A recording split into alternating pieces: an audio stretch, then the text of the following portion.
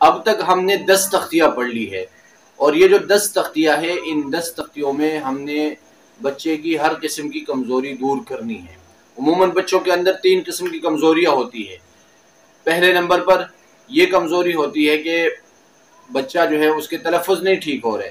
दूसरी गलती ये होती है कि बच्चा रवा नहीं पढ़ सकता रवानी में उसको ज़रा मुश्किल पेश आती है। और तीसरी बड़ी गलती ये होती है कि बच्चा जो है, वो हल कलिमात, यानी कलिमात को वो हल नहीं कर सकता।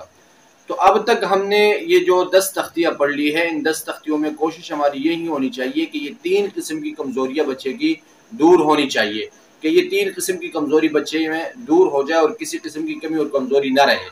क्योंकि आगे जो इसके बाद तख्तियाँ आने वाली है, उसमें हम यानी यूँ समझे कि इजाफी चीज़ें पढ़ेंगे।